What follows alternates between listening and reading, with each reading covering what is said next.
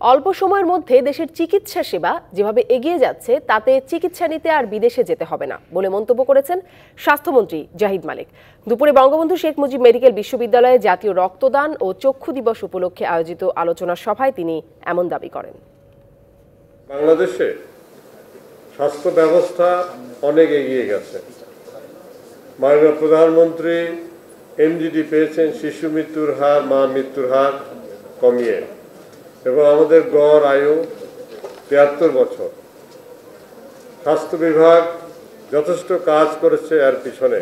অল্প দিনের মধ্যেই যেভাবে চিকিৎসা সেবা এগিয়ে যাচ্ছে, বাংলাদেশের কোনো মানুষই আর বিদেশে চিকিৎসা নেওয়ার জন্য যেতে যেতে হবে না, প্রয়োজন হবে না। সেই আধুনিক চিকিৎসা ব্যবস্থা বাংলাদেশেই তৈরি হয়ে যাচ্ছে।